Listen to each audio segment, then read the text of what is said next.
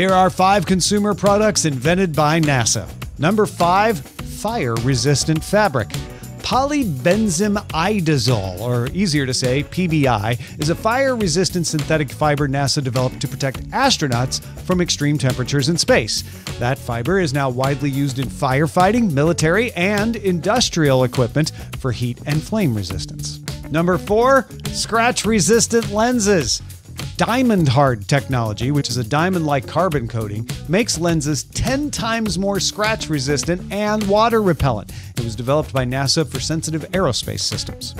Number three, that memory foam mattress. This is not a sponsor. It was developed by NASA in 1966 to improve aircraft seat safety and comfort. Temper foam, now known as memory foam, is widely used in prosthetics, motorsports fashion, veterinary care, pillows, and of course, mattresses. Number two, infrared thermometer.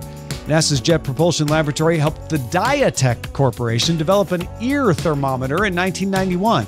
It used infrared astronomy technology to measure eardrum temperature in less than two seconds without contact, which reduced infection risk. At number one, the cordless vacuum.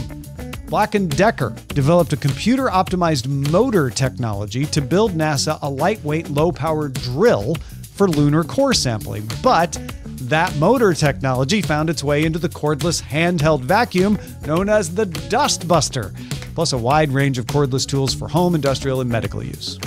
Got another one for the list? Post it in the comments, and if you can, support us at patreon.com slash DTNS.